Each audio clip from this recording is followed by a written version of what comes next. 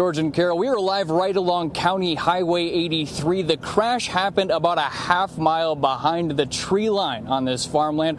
Earlier today, several local residents were coming right here to see that blimp in the air. Not too often you find a blimp in Erin, Wisconsin. They couldn't believe what happened next you just come, you think, oh, it's a this is a cool thing, you know, this is you don't see this, and then all of a sudden it just next thing you know, it's on fire and it's it's going towards the ground. Hartford resident Hunter Getzky had his cell phone rolling as a deflated blimp suddenly descends from the sky. When you see it going down, it's just like holy cow. The blimp hits the ground within moments. A fireball goes up, followed by heavy black smoke. And then once it was on the ground, it exploded about two or three times. The aftermath looked like a flattened balloon. And you could hear the explosion. Getzky says before they could run over to help, law enforcement, fire and emergency crews arrived. We're on scene, but we're going to have to uh, hike. They drove the victim to an open area where Flight for Life could land. Burns to face, pain in the neck and lower back. He was taken by stretcher to the helicopter and rushed to the hospital for serious injuries.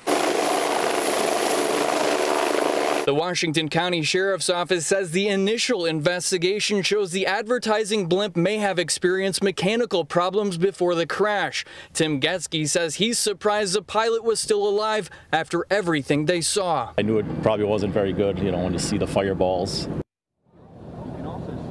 And everyone we spoke to here at the scene is obviously hoping that pilot pulls through. However, they tell me they are happy this didn't happen at Erin Hills, where 40,000 are gathering for the U.S. Open. Live in Erin, Ben Jordan, today's TMJ4.